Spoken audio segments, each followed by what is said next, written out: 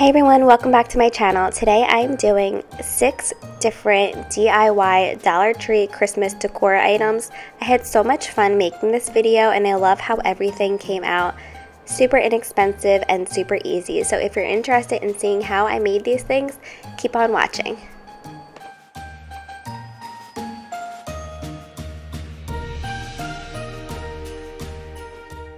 So the first thing I'm going to make is a super easy candle holder. I'm just using that glue that you saw right there and a candle holder as well as one of these little candle trays that I found all from the Dollar Tree. Just going to put some glue on the candlestick holder and literally just press it onto this little candle plate and that is pretty easy if you ask me.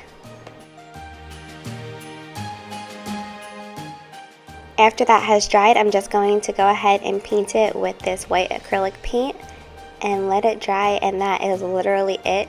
You can leave it clear if you'd like. That glue that I showed you in the first clip does dry clear, so that's perfectly fine if you want to leave it clear, but of course I wanted to paint mine white. You could definitely spray paint this as well, but I just had acrylic paint right there in front of me, so I grabbed that.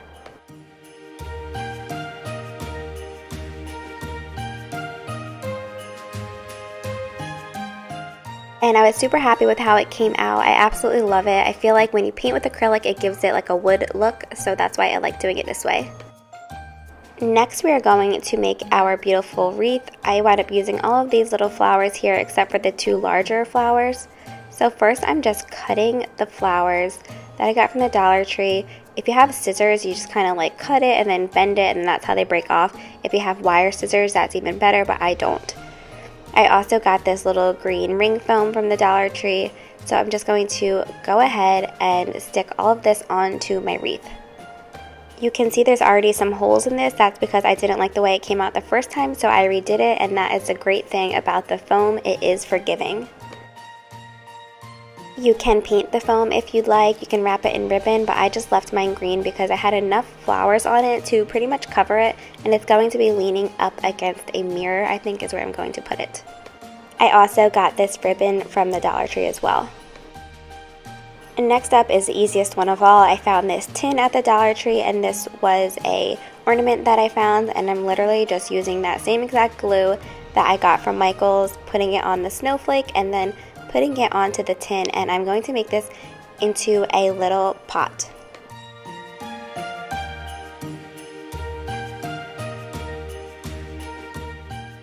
And this is how it turned out. I love it. It's really cute and just looks fresh yet wintry.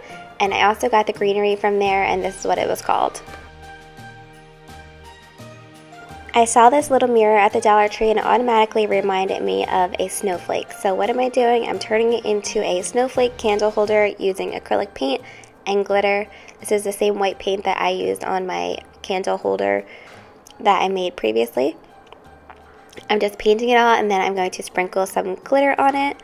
I also got the candle and the candle holder from the Dollar Tree as well and this is gorgeous.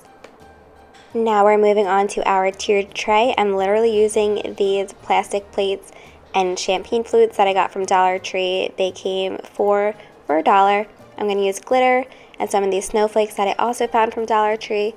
I'm just pouring it into the champagne cups, the glitter, and then the snowflakes. You could add like the little jingle balls in here.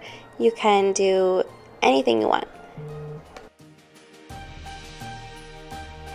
Here we go with that same glue. I'm just gluing it around the rim of the cup and then I'm going to put the plate right on top and continue doing that for how high as I want my tower. You can use this tower for um, cookies for a party, something light since it is a very, very lightweight tower. I just used it for Christmas decor. I loved how it looks and I might actually add some lights to it. The green on here were the leftover leaves from my wreath, and then the pine cones and magnolias are from the Dollar Tree as well.